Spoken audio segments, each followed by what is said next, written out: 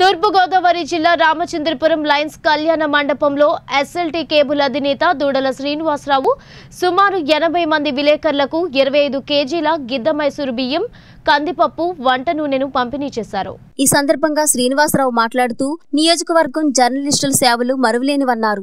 జీతబత్యాలు లేకుండా సమాజ సేవే లక్ష్యంగా పనిచేస్తున్న జర్నలిస్టులు కేవలం సమాజంలో గౌరవం కోసం జీవిస్తూ ఉంటారన్నారు.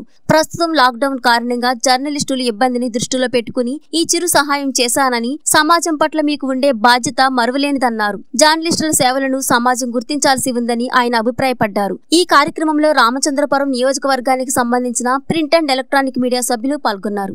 ఎవరు ఎన్ని లాక్డౌన్ పెట్టినా రాష్ట్ర ప్రభుత్వం పెట్టినా లేకపోతే సెంట్రల్ గవర్నమెంట్ పెట్టినా ఏం పెట్టినా సరే దీని పట్ల సరైన అవగాహన కల్పించింది వైరస్ పట్ల జర్నలిస్ట్.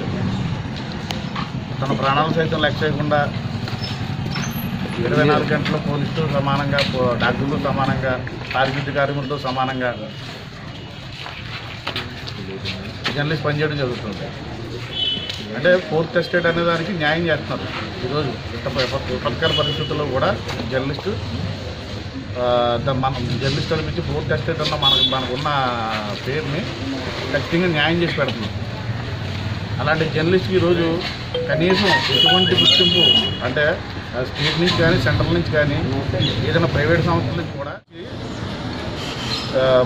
అట్లీస్ట్ ఈ కరోనా టైంలో వాళ్ళకి జీవన భృతి కింద ఎంతో కొంత ఏమో చేస్తుంటే బాగుండేది. అంటే నెలకు పదివేలనో ఈ- నెల పాటు పదివేలనో లేకపోతే ఈ నెల సంబంధించి పది నుంచి పదిహేను వేల రూపాయలు ప్రొవిజన్స్ అనో ఏదన్నా ఆ, ఇచ్చేస్తుంటే సరిపోతుంది ఎందుకంటే రెంట్లు కట్టుకోలేని పరిస్థితి.